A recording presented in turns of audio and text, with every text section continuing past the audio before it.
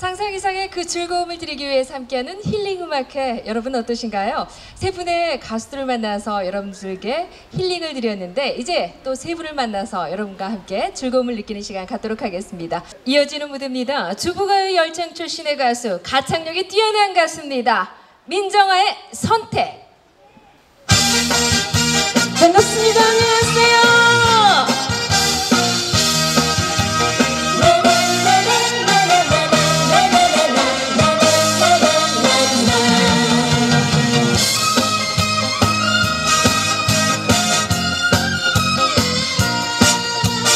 너는 너는 너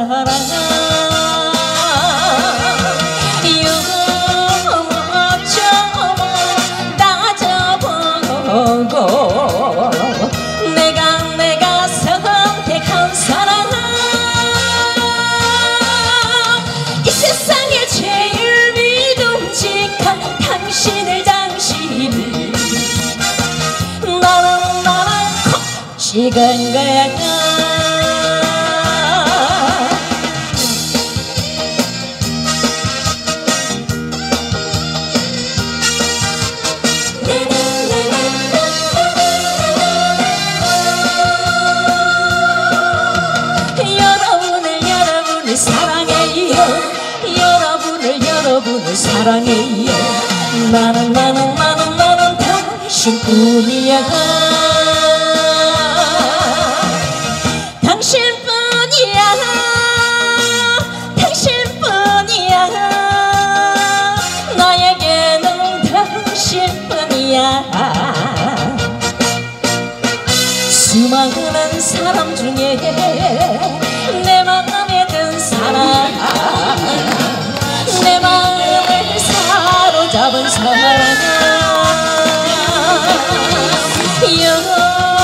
요모저모 따져보고 내가 내가 선택한 사람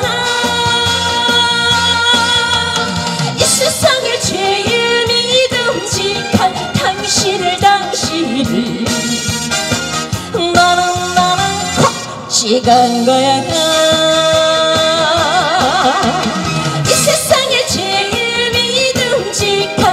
당신을 당신을 나는 나는 콕 찍은 거야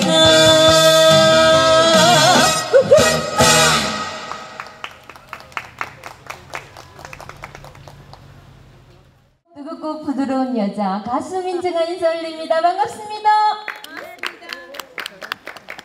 우리 민정아 씨가 하나 뽑아서 재미있는 토크 한번 이어가시면 좋을 것 같아요. 행운이 있을라나 해보겠습니다. 네. 행운은 힐링과 라이프에서 가져가신 것 같고요. 주제를 잘 뽑아야 될 것 같은데요. 기분이 떨어졌습니다. 뭐예요? 꽝이다, 꽝. 아, 부산을 대표하는 가수 우리 민정아 씨가 꽝이에요, 확실한 꽝. 꽝입니다. 열심히 박수 치고 가겠습니다. 네. 이야, 민정아 씨에게 조금 아쉬움이 있는 것 같은데, 요 뒤에 분들, 캠핑하고 계신 분들, 야영장 즐기시는 분들과 대박 3조 여러분들께서 찬스를 주시면 하나 뽑아서 재미난 이야기 하나 듣고 가면 어떨까 싶은데, 어떠세요? 좋습니다. 아, 제가 지금 막 말씀드리려고 했는데 아, 아, 역시 그래요. 역시 명사이자십니다. 네. 아 우리 박강희 민 씨는 씨, 얼굴만 이쁜 줄 알았더니 마음씨도 고와요. 너무나 감사드립니다. 자. 설마 깡은 아니겠죠? 자, 오늘의 마지막 토크가 될 것 같아요. 마지막 토크. 우리 민정아 씨의 토크 어떤 게 있을까요? 라이벌 퇴치법. 라이벌 테스트. 아니 이게 오늘 그 주제가 만약에 이게 되면 어떡하나 너무 많이 또 망설였는데 또 어려운 게 걸렸네요. 네. 라이벌 대, 대, 퇴치법. 민정아 씨, 제가 궁금한 게 있어요. 지금 여기 박광신의 힐링 라이프, 힐링 토크에 라이벌이 혹시 있으신가요? 없는 것 같아요. 저를 따라올 사람 있나요? 없죠. 아, 가수는 자신감 네. 파랄이라고 하는데 네. 자신감이 정말 대단한 것 같아요. 라이벌이 있으시면 라이벌은 어떻게 대체하는지. 그런 건 아니고 우리가 제가 그 가수 생활을 하면서 참 많이 배웠어요. 음, 그 누군가 이제 같이 가려고 했던데 상처를 받았던 점 네. 그런 것들도 많았는데 이제 이제 뭐 한 7년간 이렇게 가수 생활을 하고 여러분들과 같이 하다 보니까 어, 어떻게 이 라이브를 음, 어, 같이 가야 되나 같이 가는 그런 바- 방법을 배웠어요 제가.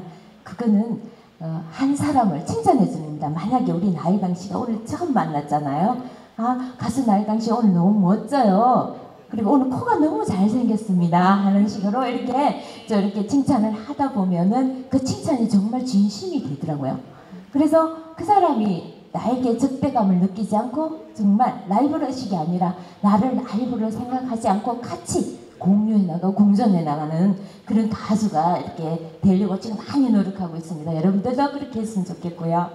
네, 네.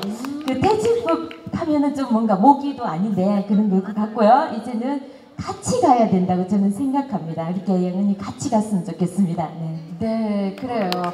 야, 민정아 씨에게 마지막 토크 기회를 주니까요. 우리 힐링 라이프, 힐링의 토크를 마지막으로 정리해주고 가는 것 같아서 기분이 굉장히 뿌듯해지는 것 같아요. 아, 여러분과 함께 대박 3조까지 해서 힐링 라이프, 힐링 토크를 했는데요. 민정아 씨 말씀처럼 우리가 일상생활을 하면서 사회생활을 하면서도 누군가를 칭찬을 한다면 아마 더 부드럽고 더 배려하고 더 힐링되는 그런 사회가 되지 않을까 그런 생각을 하면서 오늘 대박 1조, 2조, 3조와 함께한 박광신의 힐링 라이프, 힐링 토크 여기서 마무리를 하고요. 이제 우리 야영장 대표를 만나서 함께 이야기하는 시간 가져보도록 하겠습니다.